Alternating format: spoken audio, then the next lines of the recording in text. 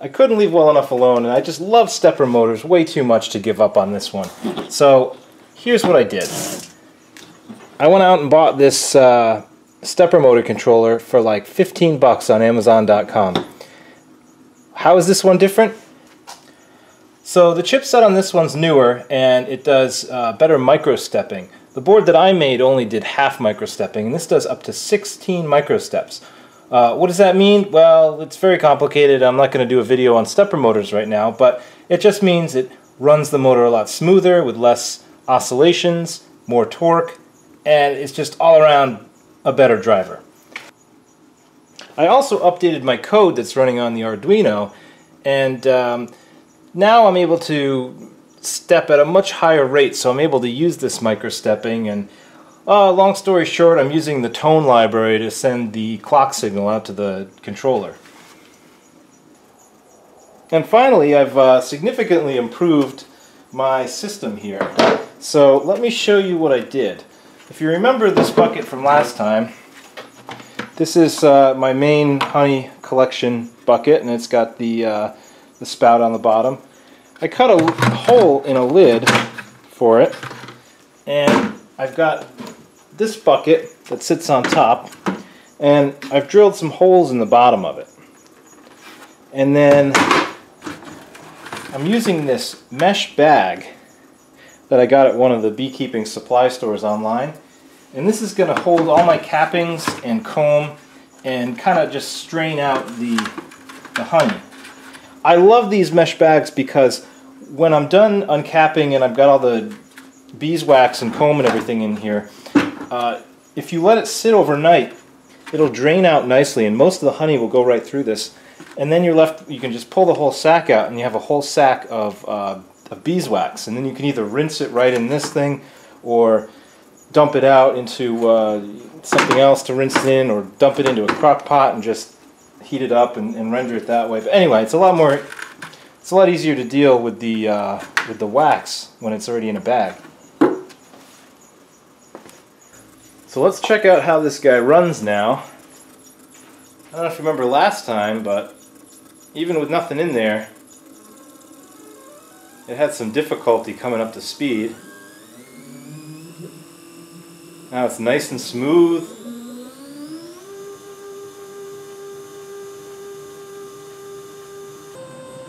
The other nice thing about this controller is it uses switches to set the current. So I'm actually running this at a pretty low current. I think this can handle probably a couple amps, but I'm only running it at like one amp. Um, part of the reason I love the stepper motor is because it's kind of like acts as its own clutch. If this thing gets hung up, it'll just start skipping. And if this was like a gear motor or something, it would just keep going. It, you wouldn't be able to stop it that easily. Of course, all that means nothing if this doesn't work, so let's try it out. Now I, only have these two frames that, um, there are only two capped frames that were ready in uh, my hive, so that's all I got to try this out with, but um, so let's hope we don't blow them out, huh?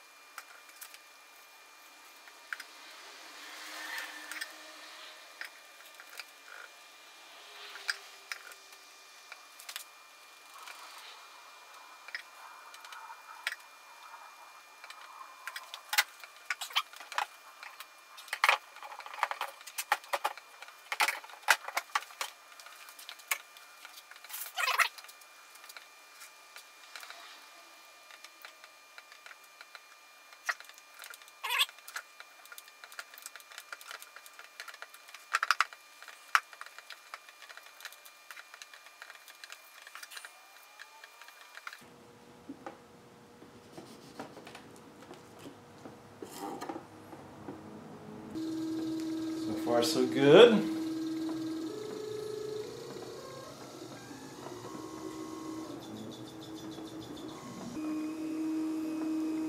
Okay, so this is like about 50 RPM.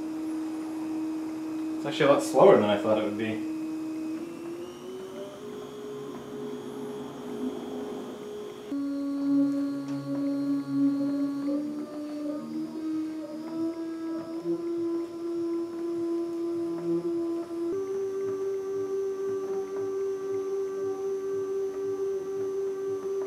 Okay, so we're at about 115 RPM, and um, I'm seeing some honey on the sides of the, of the barrel now. So something's flinging out.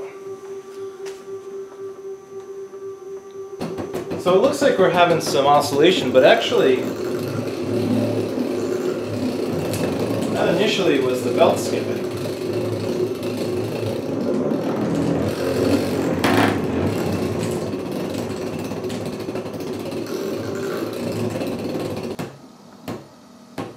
So something happened here. It got a lot harder to turn.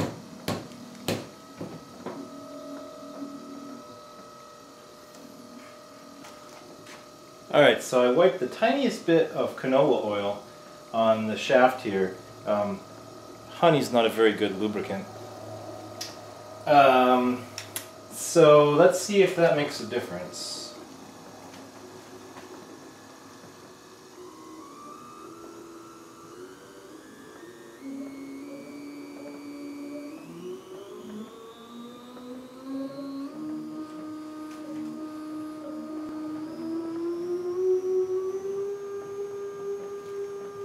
That's 120 RPM. Oh yeah, much smoother, yeah.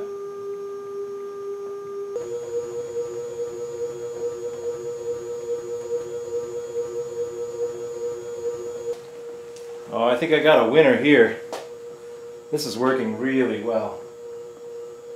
So uh, the nice thing is, so I can let it run at this speed and just listen and or walk away and do some other stuff. You know what? While this is going, I can be uncapping the next frames. And um, when I don't hear any more honey hitting the side of the barrel, I know I got to turn the speed up. And uh, what's happening is all the honey at the edges, because they're going faster, that'll fling out first. And then the honey from the bottom of the frame slowly kind of starts pulling along the frame till it gets to the edge and then it's flinged off. And um, you got to keep going faster to get the, the honey that's towards the bottom of the frame, which is towards the center of this extractor, to fling out. But I like uh, this 140 RPM right now is, is, is doing really well. And I don't think it's putting hardly any strain on this comb.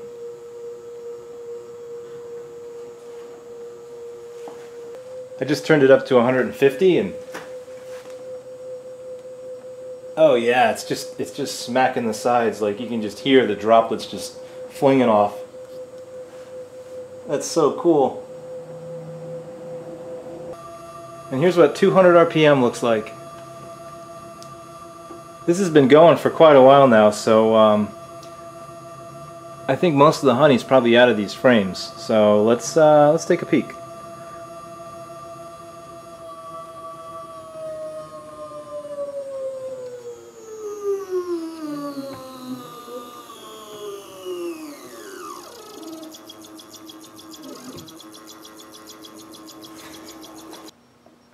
And take a look at that.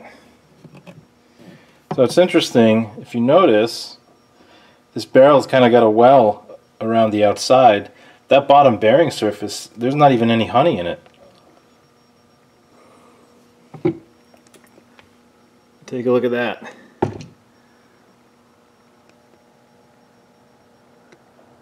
That is some empty honeycomb. I'd say that's pretty good.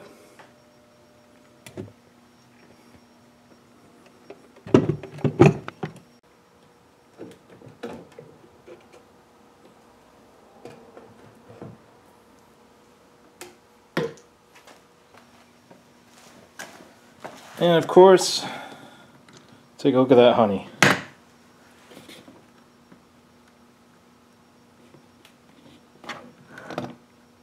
Ah! Oh!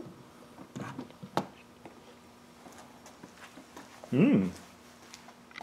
So one thing you can do is just take a gloved hand and you can crush up all these cappings and bits of comb in here and that'll let the honey kind of flow out a little bit easier. But um, other than that, it's uh, gravity will do the work and uh, you'll be surprised how dry and clean all this wax is if you let it sit overnight. The honey will just drain right out of it.